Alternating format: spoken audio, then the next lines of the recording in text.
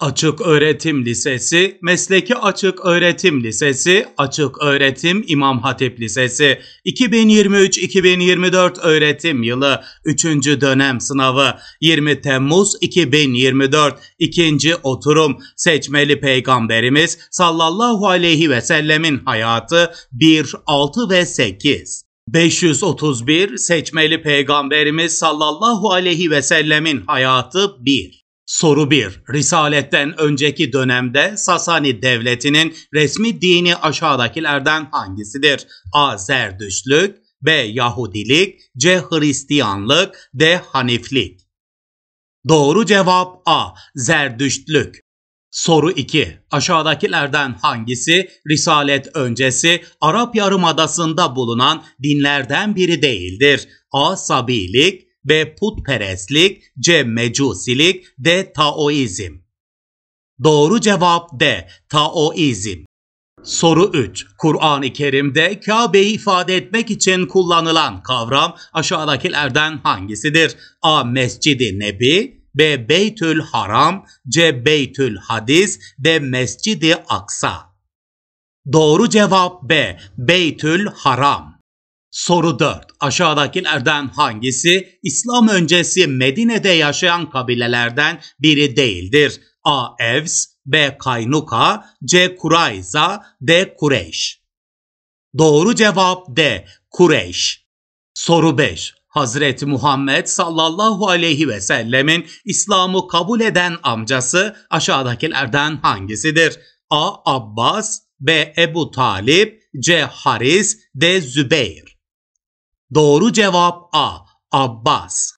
Soru 6. Aşağıdakilerden hangisi Hazreti Muhammed sallallahu aleyhi ve sellemin süt anneye verilme nedenlerinden biri değildir? A. Mekke'nin havasının çok sıcak olması B. Fasih Arapça öğrenmesi C. Tevhid inancını benimsemesi D. Beden ve ruh sağlığının gelişmesi Doğru cevap C. Tevhid inancını benimsemesi. Soru 7. Risaletten önce Hazreti Muhammed sallallahu aleyhi ve sellemin Hira mağarasında tefekkür ettiği konu aşağıdakilerden hangisidir? A. Medine'ye nasıl hicret edeceği? B. Allah Celle Celaluhu'nun varlığı ve kainatı nasıl var ettiği? C. insanlara nasıl tebliğde bulunacağı? D. Kabe'nin putlardan temizlenmesi gerektiği. Doğru cevap B. Allah Celle Celaluhu'nun varlığı ve kainatı nasıl var ettiği. Soru 8. Aşağıdakilerden hangisi siyer ilminin kaynaklarından biri değildir? A. Kur'an-ı Kerim B. Hadisler C. Megazi kitapları D. Fıkıh kitapları Doğru cevap D. Fıkıh kitapları Soru 9. Hicaz bölgesinin en önemli şehirlerinden biridir. Sakif kabilesinin yaşadığı yerdir. Su kaynakları bakımından çok zengindir ve tarım gelişmiştir. Bu parçada hakkında verilen şehir aşağıdakilerden hangisidir? A. Mekke B. Taif C. Yesrib D. Yemen Doğru cevap B. Taif Soru 10. Aşağıdakilerden hangisi Hazreti Muhammed sallallahu aleyhi ve sellemin çocuklarından biridir? A. Ali B. Zeyd C. Şeyma D. Abdullah Doğru cevap D. Abdullah Soru 11. Aşağıdaki isimlerden hangisi Hazreti Muhammed sallallahu aleyhi ve sellemin soy ağacında yer almaz? A. Hüveylid B. Mürre C. Lüey D. Kusay. Doğru cevap A. Hüveylid. 536 Seçmeli Peygamberimiz sallallahu aleyhi ve sellemin hayatı 6. Soru 1. Hazreti Muhammed sallallahu aleyhi ve sellem hicretten sonra Medine'de artan nüfus yoğunluğuna bağlı olarak geçim sıkıntısı ve yaşama uyum sağlamadaki güçlükleri Ensar ve Muhacir arasında bir kardeşlik anlaşması uygulayarak çözmüştür. Bu metin aşağıdakilerden hangisiyle ilgilidir? A. Medine Sözleşmesi B. Muahhat C. Hudeybiye Antlaşması D. Ashabı Suffe Doğru cevap B. Muahhat Soru 2. Taif'ten Medine'ye gelen heyetin en genç üyesi olarak Hazreti Muhammed sallallahu aleyhi ve selleme misafir olmuştu sorular sorarak İslam'ı öğrenmeye çalışmış ve bu hali Hazreti Muhammed sallallahu aleyhi ve sellemin hoşuna gitmişti. Heyet Taif'e dönerken bu genç sahabe zekasından ve dine ilgisinden dolayı vali tayin edilmişti. Bu parçada hakkında bilgi verilen sahabe aşağıdakilerden hangisidir? A. Muaz bin Cebel B. Bilal-i Habeşi C. Osman bin Ebil As D. Ubade bin Samit. Doğru cevap C. Osman bin Ebil As. Soru 3. Bismillahirrahmanirrahim. Şüphesiz Allah Celle Celaluhu kendisine ortak koşulmasını asla bağışlamaz. Bunun dışında kalan günahları ise dilediği kimseler için bağışlar. Allah Celle Celaluhu'ya şirk koşan kimse şüphesiz büyük bir günah işleyerek iftira etmiş olur. Sadakallahül azim. Nisa suresi 48. ayet. Bu ayet aşağıdakilerden hangisi ile ilgilidir? A. İlim B. Adalet C. Ehliyet D. Tevhid Doğru cevap D. Tevhid. Soru 4. Hazreti Muhammed sallallahu aleyhi ve sellem önceleri mescitte bulunan bir hurma kütüğüne dayanarak hutbelerini ayakta irat ederdi. Bir gün ayakta durmak bana zor gelmeye başladı diyerek ayaklarındaki rahatsızlığından şikayet edince Temim Eddari ona bir minber yapmayı teklif etti. O bu teklifi sahabelerle görüştükten sonra kabul etti. Hazreti Muhammed sallallahu aleyhi ve sellemin bu davranışı aşağıdakilerden hangisiyle ilgilidir? A. İstişare B. Tevhid C. Adalet D. İlim Doğru cevap A.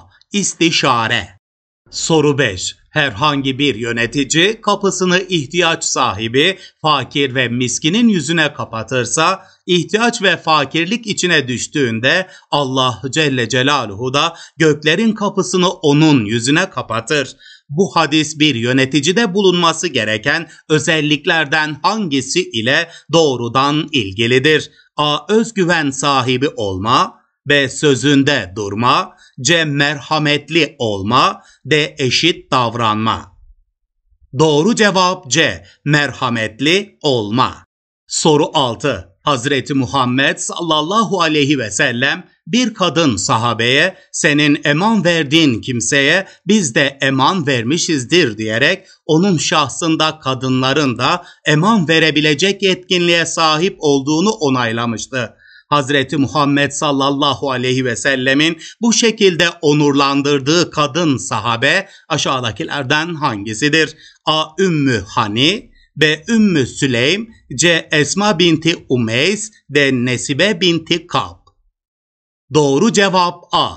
Ümmü Hani Soru 7. Hazret Muhammed sallallahu aleyhi ve sellemin Müslüman olmamasına rağmen vefatına kadar yakın olduğu amcası aşağıdakilerden hangisidir? A. Ebu Leheb B. Ebu Talip C. Haris D. Abbas Doğru cevap B. Ebu Talib. Soru 8. İslam kardeşliği Medineli nokta nokta ve nokta nokta kabileleri arasındaki anlaşmazlıkları sona erdirerek şehirde huzur ve güveni tesis etmişti. Bu cümlede boş bırakılan yerlere sırasıyla aşağıdakilerden hangisi getirilmelidir? A. Efs Hazreç B. Emevi Haşimi C. Kureyş Adnani D. Kureyza Nadir Doğru cevap A. Efs Hazreç Soru 9. Hazreti Muhammed sallallahu aleyhi ve sellem Medine'de doğuştan var olduğu kabul edilen kabile üstünlüğünü ortadan kaldırmış, yönetici görevlendirmelerinde kişilerin yeterlilik ve elverişliliğine önem vermiştir.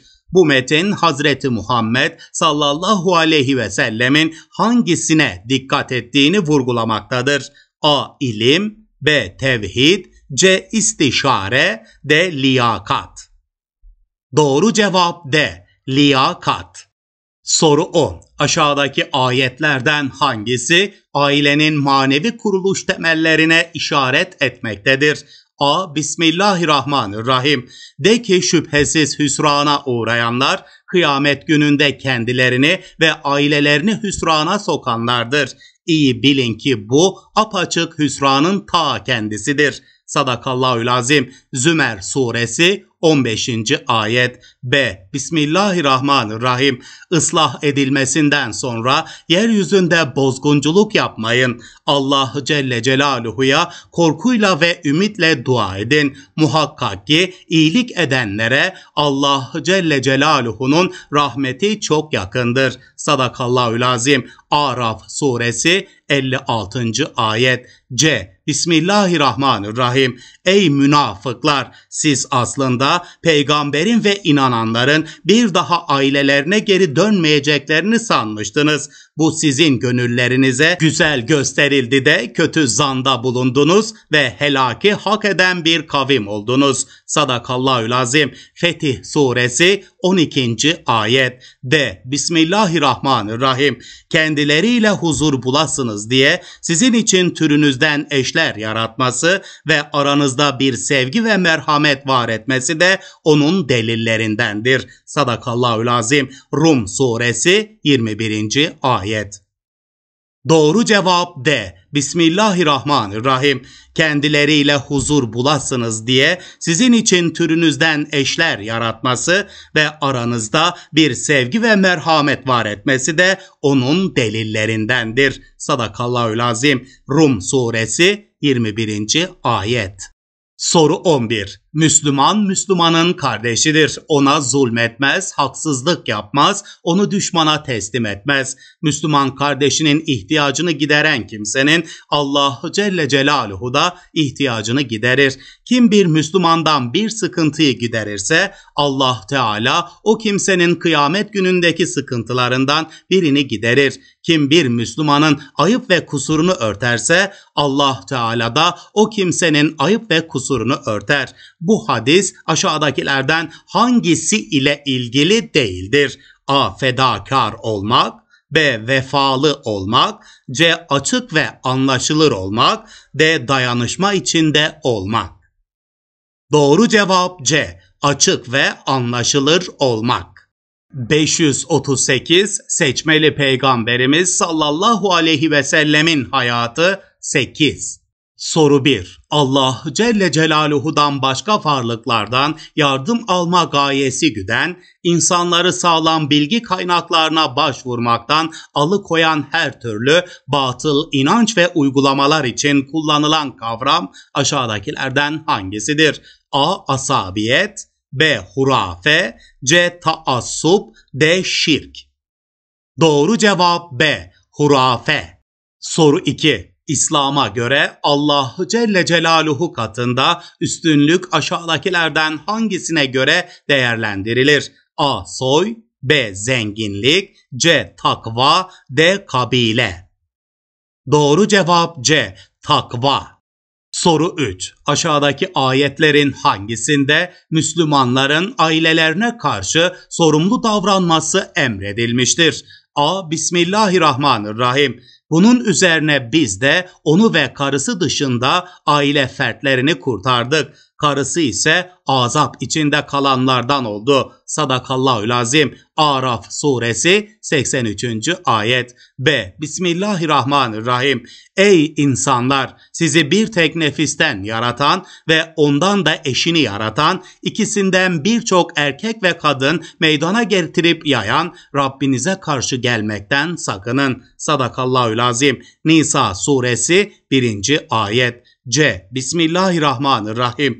Onlardan biri kız ile müjdelendiği zaman içi öfke ile dolarak yüzü simsiyah kezilir. Kendisine verilen kötü müjde yüzünden halktan gizlenir. Şimdi onu aşağılanmış olarak yanında tutacak mı yoksa toprağa mı gömecek? Bak ne kötü hüküm veriyorlar. Sadakallahü lazim. Nahl suresi 58 ve 59.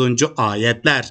D. Bismillahirrahmanirrahim. Ey iman edenler! Kendinizi ve ailenizi yakıtı insanlar ve taşlar olan ateşten koruyun. O ateşin başında gayet katı, çetin, Allah Celle Celaluhu'nun kendilerine verdiği emirlere karşı gelmeyen ve kendilerine emredilen şeyi yapan melekler vardır. Sadakallahü lazim. Tahrim suresi 6. ayet. Doğru cevap D. Bismillahirrahmanirrahim. Ey iman edenler! Kendinizi ve ailenizi yakıtı insanlar ve taşlar olan ateşten koruyun. O ateşin başında gayet katı, çetin, Allah Celle Celaluhu'nun kendilerine verdiği emirlere karşı gelmeyen ve kendilerine emredilen şeyi yapan melekler vardır. Sadakallahül azim. Tahrim suresi 6. ayet. Soru 4. Aşağıdakilerden hangisi Hazreti Muhammed sallallahu aleyhi ve sellemin ekonomik alanda yaptığı değişikliklerden biri değildir? A. Ziraat ürünlerinin vergilendirilmesini güneş takvimine göre düzenlemiştir ve gümrük vergilerini kalıcı hale getirmiştir. C. Mekke çarşısı için denetleyiciler tayin etmiştir. D. Medine Büyük Çarşısı'nda pazar yeri kurmuştur. Doğru cevap B. Gümrük vergilerini kalıcı hale getirmiştir. Soru 5. Medine Sözleşmesi ile ilgili aşağıdakilerden hangisi yanlıştır? A. Cezanın suç işleyenle birlikte kabilesine de ait olduğu kabul edilmiştir. B. Toplumun fertleri hak ve menfaatlerde eşit kabul edilmiştir. C. Her ferdin can ve mal emniyeti güvence altına alınmıştır. D. Medine'de yaşayan tüm kabileler bir araya getirilmiştir. Doğru cevap A. Cezanın suç işleyenle birlikte kabilesine de ait olduğu kabul edilmiştir. Soru 6. İslam'ın ilk hicret edeni ve ilk muallimidir. Uhud Savaşı'nda sancaktarlık görevini yerine getirmiş ve şehit olmuştur. Bu bilgiler aşağıdaki sahabelerden hangisine aittir? A. Talha bin Ubeydullah B. Muaz bin Cebel C. Sad bin Ebi Vakkas D. Mus'ab bin Umeyr Doğru cevap D. Mus'ab bin Umeyr Soru 7. Hazreti Muhammed sallallahu aleyhi ve sellemin az ve öz söz söyleme özelliği aşağıdaki kavramların hangisiyle ifade edilmektedir?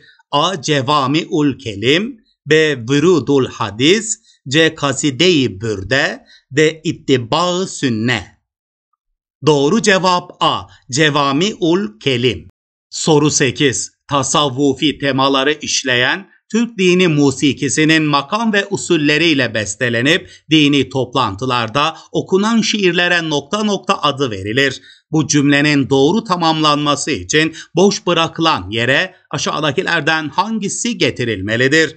A. Sala B. Esma-ün Nebi C. İlahi D. Siyer-i Nebi Doğru cevap C. İlahi Soru 9. Hazreti Muhammed sallallahu aleyhi ve sellemin balı sevmesinden dolayı Orta Çağ'da onun doğum yıl dönümlerini bal bayramı olarak kutlayan bölge aşağıdakilerden hangisidir?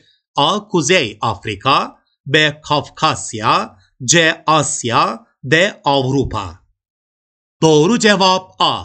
Kuzey Afrika Soru 10 Osmanlı sultanları Hazreti Muhammed sallallahu aleyhi ve sellemin doğduğu Hicaz bölgesine asırlarca hizmet etmiş, burada yaşayan halkı maddi yönden desteklemişlerdir. Mekke ve Medine'yi korumayı, bakım ve onarımını yapmayı dini bir görev saymışlar, her yıl devlet hazinesinden para ve hediyeler göndermişlerdir.